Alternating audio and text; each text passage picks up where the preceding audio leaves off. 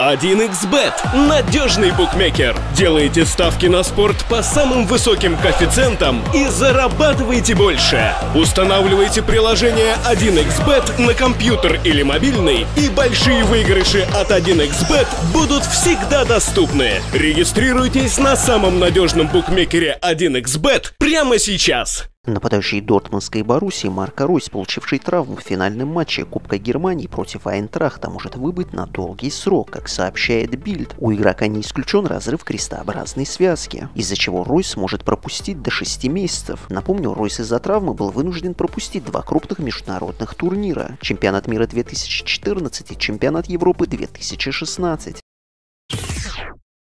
Победа Барселоны над Алавесом в финальном матче Кубка Испании стала особенной для нападающего Лионеля Месси и полузащитника Андреса Иньесты. Благодаря этому триумфу они выиграли свой 30-й трофей в качестве игроков Барселоны и стали первыми футболистами в истории клуба, достигшими этого показателя. Список трофеев у каждого из игроков одинаков. 8 побед в чемпионате Испании, 7 суперкубков Испании, 4 выигранных Лиги Чемпионов, 5 кубков Испании, 3 суперкубка Европы и 3 клубных чемпионата мира.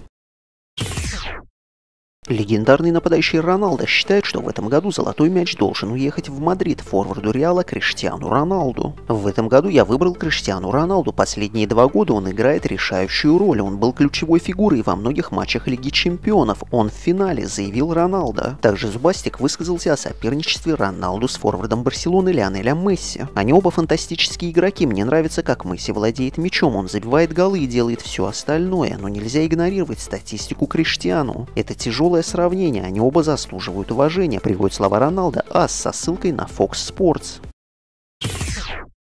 Бывший главный тренер Интера и Манчестер Сити Роберто Манчини лестно отозвался о легендарном форварде Ромы Франческо Тотти, а также с сожалением отметил, что ему не выпала возможность тренировать Франческо. Тотти многого добился, он был чемпионом мира в 2006 году, мы говорим о невероятном достижении, мы говорим о великолепном игроке, феномене. Франческо фантастический игрок, он имеет достаточно мужества, чтобы продолжать играть в таком возрасте, при котором я уже давно повесил бутсы на гвоздь. Вот что я вам скажу, я сожалею, что никогда не тренировал Тотти, мне бы это понравилось, цитирует Манчини «Футбол Италия».